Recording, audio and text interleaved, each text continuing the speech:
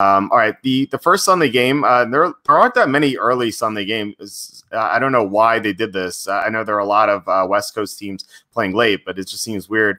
Uh, so there are, I, I, believe, six, and the first one is has no line. It's Redskins at the Lions. Um, there's no line because we don't know if Matthew Stafford is going to play or not. He suffered a, a concussion against the Vikings in the second half.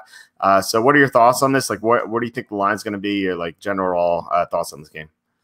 I think this line is probably going to favor the Lions. Um, I think if Matthew Stafford plays, we're going to see a number around three, maybe four.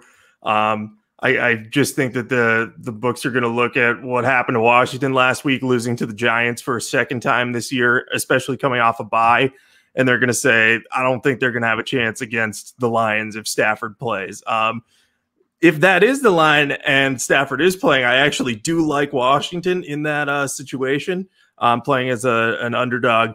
Um, because I think Alex Smith showed last week that he's kind of getting back in the groove of things. He had to replace Kyle Allen uh, mid game, and you know he came in and actually threw the ball pretty well. He had three interceptions. I'm not overlooking those, um, but if you break down all of them, the first one. Uh, the back fell down on the route, so it just went straight to the linebacker. The second one was a really bad decision on Smith's part. Um, so he shouldn't have made that throw late in the game. The third one, they were in desperation mode. They had to drive the length of the field with like a minute 40 seconds left. So he threw it deep and it got picked. Um, so I'm not putting a ton of stock into that, but I am putting stock into the fact that he averaged over, I think, 10 yards uh, per attempt, which is pretty huge for a quarterback like him. So I think he's going to be fine. He's going to be able to lead that offense to, uh, some success against what has been a weak Lions defense in recent weeks. They were just gashed by the Colts, who, as we were talking about, don't have a great offense, and the Vikings, who Dalvin Cook ran like crazy all over them. The other key injury in this one is Kenny Golladay. If Golladay's in for the Lions, then I think they do much better on offense, and I might switch my pick. But I'm kind of anticipating that he might not be around this week. Um, and if he's not, I think Stafford's going to have a, a tougher time uh, connecting with his receivers against what's been a good Washington defense. They have had their rough patches, but they can get pressure on Stafford and they can limit at least at least if Kenny Golladay's out, they should be able to limit the receivers. So I like Washington here, depending on the line. Um, if there's a backup starting and then this swings way in Washington's favor, then I might reconsider. Um, but I, I, think they're going to keep it close. I, I see this being maybe a field goal game, so I'll take Washington if they're an underdog. Maybe it'll be uh, the inverse of last year. Remember uh, last year the the Lions were at the Redskins, and uh, Je- Jeff Driskel was like a what a four point road favorite. So maybe uh, maybe if um, Chase Daniel starts for the Lions, maybe Alex Smith will be a four point road favorite, and we could bet against them.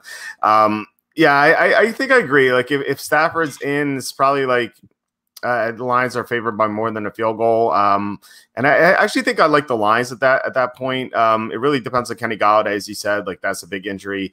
Um, if he's back, I definitely like the Lions. If not, I, am not really sure where I go yet. I have to see what the spread is. But um, it seems like the Lions feast on these horrible teams. Like they they only beat the bad teams. Like remember, uh, they they clobbered the Jaguars a few weeks ago. Uh, they beat Atlanta. Like it seems like all their wins comes against these these bad teams, and whenever they have to play a good team, they get they get smoked.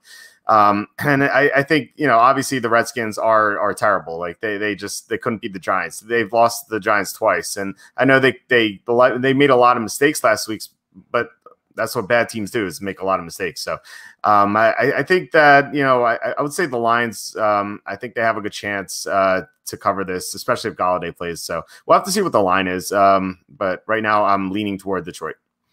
Yeah, and that's totally fair. I just think that Washington's been one of the frustrating teams this year because every time you think like, oh, they're starting to put it together under, they take a step back, and that's what it felt like coming out of the bye. Now, like it's time for them to give people hope again and it'd be like, oh, must beat the Lions and they covered. But like you said, we don't really know with without a line, uh, without a line what's going to happen, and we need to see the injury report. So uh, this will be one of the ones I'm watching though, because I'm more than else interested to see what the is going to be.